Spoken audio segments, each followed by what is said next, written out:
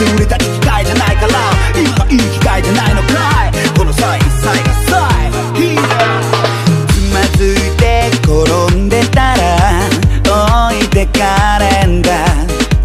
前日の飲みすぎたお酒が効いてる。それでも働きに出る。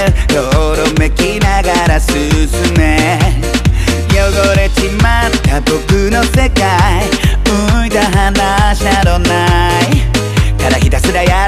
れど誰のためで稼いだマネは家族のため。必殺仕事人に幸あれ。高知とな会社行ったって神さんにだって神々言われて身がサビになっても。疲れを癒す今なんてのはないけれど休まず頑張ってる。そして呪文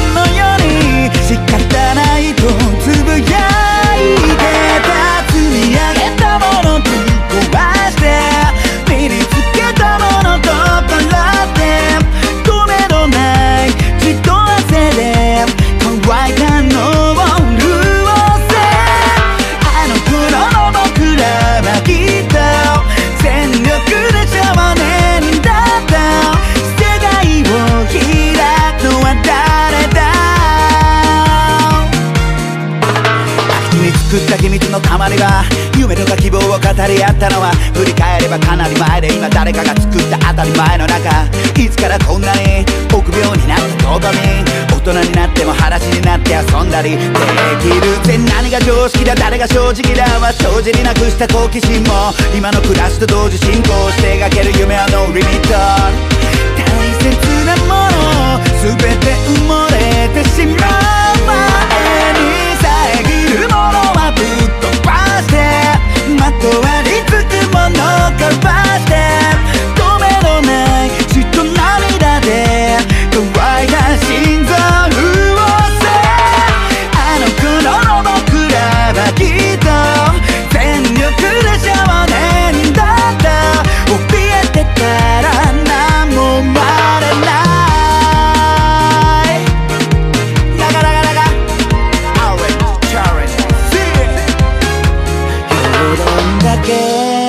識に答えを見つけ出すのはもうやめた